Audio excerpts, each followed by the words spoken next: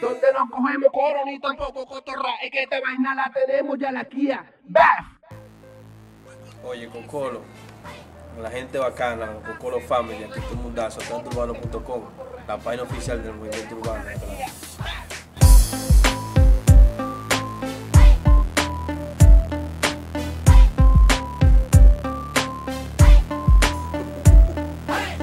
No, mira, Cocolo Music, como empezó primero Cocolo Music fue Cocolo Sound. Eh, yo y un primo, yo soy, di- yo principal, primeramente yo soy DJ, antes de productor. Yo era DJ, nos juntábamos, nos juntábamos, yo llegué a Nueva York, yo era DJ de Santo Domingo, pero llegué a Nueva York, me junté con mi primo, eh, mi primo era DJ en Nueva York, hicimos lo que es una, pequeña compañía entre yo y él de hacer party. O sea, nos- nosotros tocábamos todos los parties en el Bronx, nosotros tocábamos, todos los parties. So, y decidimos hacer lo que es la compañía, hicimos una, una pequeña compañía entre yo y él, se llamaba Colo Sound. So, después de eso, él eh, ya se alejó de lo que es esa vaina de estar poniendo música en el party, ya lo que estaba era local, en su casa, ahí no le gustaba de mucho. Yo pues, conseguí otro, tra- otro trabajo y también estaba un poquito fuera de eso. Y, o sea, se, como que se desintegró lo que es Cocolo Sound. Entonces fue ahí cuando yo empecé a conocer que yo tenía talento para producir, empecé a producir y, adquirí el nombre de Cocolo Music Entertainment, que fuimos yo y otro para mí en Nueva York, que se llama Lluvia Negra, todo el mundo lo conoce, entonces nada, de ahí que me viene el nombre de Cocolo Music y de ahí para allá todo el mundo me conoce Cocolo, porque vengo de San Pedro, y todo el que es de San Pedro es Cocolo, a mí nadie me diga nada, y todo el mundo está claro con eso. Y Music, ¿por qué música? O sea, que yo represento la música. Bueno, sencillo. NC Luis es, mi nombre es Luis, soy un NC. No quería, no, no hallaba qué nombre ponerme. NC Luis. Sencillo. A lo clásico, porque ya uno, imagínate. Eh, el picante, eso fue ya a través de mi hermano, DJ Johnny. Que él decía que yo era como, yo me estaba volviendo ahora mismo en el rap de Cristo Rey, porque eso es lo que estábamos representando en ese tiempo. Yo era como para el sancocho, que si no le echan picante no sabe bueno. Casi mismo me estaba yo poniendo en el rap. Entonces yo me gustó el nombre de picante y el coño, pero es verdad. Y mucha gente me decía, coño, pues tú le metes heavy. Y yo decía, coño, no, yo no le meto heavy, yo lo pico en, los- en los billes. Yo pico los billes. Entonces ahí fue que vino el picante. Y no me quería quitar el silui, pero me quería llamar picante. Entonces lo pusimos el silui y el picante. Y ahí se quedó todo. Bueno, ese, ese nombre peso realmente no fui yo que me lo puse, me lo pusieron chamaquito en el barrio, en Herrera, allá en Buenos Aires. Que, que tú sabes que en el país donde hay mucha pobreza, y cuando tú llegas los chamaquitos te tiran, oye, dame un peso, dame un peso, dame un peso. Entonces los chamaquitos iban allá a mi casa cuando yo llegaba aquí de este lado. Oye, vamos a ponerle el chamaco de dos pesos. Entonces iba un chamaquito, buscaba dos pesos, volvía a una recua, entonces me pusieron el peso. De ahí viene el nombre, el peso. Ok, no era porque yo pedía ni nada, era que me pusieron el peso por eso, porque hay mucha gente que tiene controversia por ahí, que no, que ese peso viene de que porque tú pedí, iba en la calle, no, fue que me lo pusieron chamaquito santo porque yo daba, ¿me entiendes? ¿Tan claro ya? Oye, oye. ¿De dónde viene el nombre de, de- Little Jam? Bueno, mi nombre es fácil, por como la gente que me conoce a mí personalmente van a ver que Dios no me dio mucho tamaño a mí. Y de ahí viene el nombre de Little. Eh, el Jam viene porque esas son las iniciales de mi nombre, eh, Little Jam. Ya ahí viene el, el Jam. No voy a decir mi nombre legal porque ustedes saben que eso va después más para adelante en la bio. Y nada, la beta, mi, mi pana jengibre me conoció. Dice porque, bueno, te lo van a preguntar por qué me puso la beta, pero ya ustedes saben, Little Jam, papá, es la beta. Y nada, ustedes saben, representando Santiago City. Ya, me borré.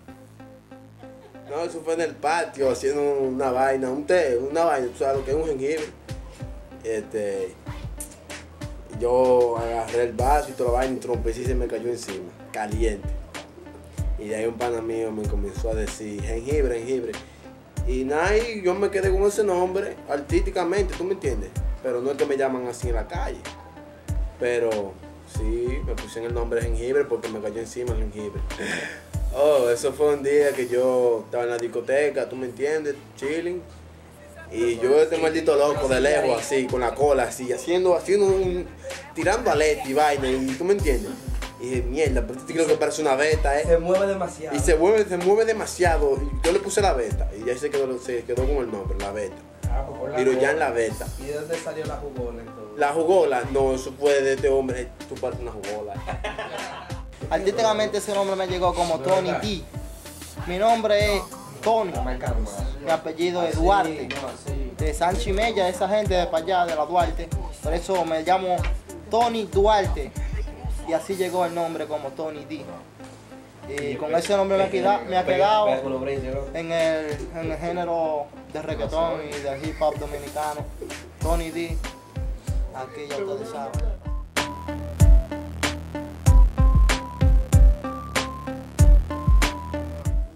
Mí el rap es algo que yo vivo, ¿me entiendes? A diario en la calle, porque todo el mundo hace pasa trabajo.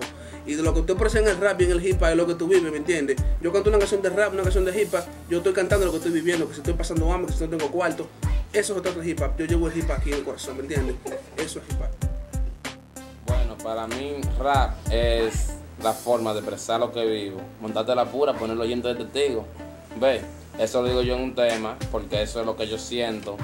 En el rap yo monto como me siento. Si te hago una canción de tiraera era porque sentía que debía tirarle a la gente que están haciendo la cosa mal. Si un desahogo es porque la, la cosa que me hacen los amigos demagogos que se le vieran a uno. Ellos saben quiénes son.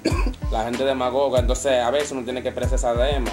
Y entonces para uno no hacerlo en problema, uno lo hace en rap. Y lo deja ahí en música y se desahoga. Igual cuando uno está enamorado, despechado, que hace una canción de amor también. Ve. O cuando está en tripeo, que hace una canción de, también de tripeo. Y de tri mierda también, tú sabes. Y de toda la vaina. Pues sí, entonces rap es amor. Lo que sale del corazón.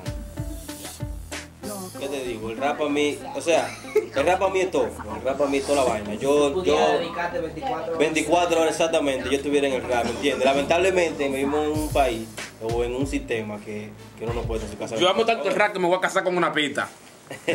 o sea, que uno no, puede estar, uno no puede estar 24 horas en eso, pero si fuera por mí, yo, yo pasara 24 horas en el estudio, ¿me entiendes? Eh, haciendo, haciendo rap, haciendo música en general, ¿me entiendes? Porque eso es lo que, eso es lo que a mí me gusta. Pero en, en realidad el rap, el rap, el rap para mí, para mí es lo, lo, lo, lo, lo máximo. Lo esencial. Eh, sí, lo esencial. Después de Dios, mi mujer, mi, mi hijo, mi mamá, mi papá, mi, toda mi familia, el rap, ¿ves qué es lo que son? Que yo, yo, vuelvo y te digo, el sistema que vivimos aquí es un sistema que no se puede, que uno no puede Brincarle. eh, eh, brincarle por los viles, ¿ves qué es lo que es? Oye, qué bobo. Mucho bill y mucha vaina, pero el rap para mí sí, para mí el rap, eh, musicalmente hablando, para mí no es Porque si no trabajan, no pueden pagar la luz. Y si no hay luz, no pueden. Hace pita, ¿entiendes? Oye, qué bobo. El rap para mí es algo muy importante. Me lo llevo en la sangre, ustedes saben. El rap para mí es como la comida. Eh, eso es algo demasiado importante para mí. Eso viene de la sangre y de verdad, de sangre, sangre, sangre natural. Con mi tío DJ Urba, ustedes saben que es lo que es. Y de verdad que esa vaina me lleva, lo llevo en el corazón. El rap para mí es muchas cosas que yo quiero salir adelante, triunfar, llegar donde mucha gente han logrado, que yo también puedo hacerlo si me apoyo en. Así que Tony D, pa. Bueno, eh, la música urbana, el rap.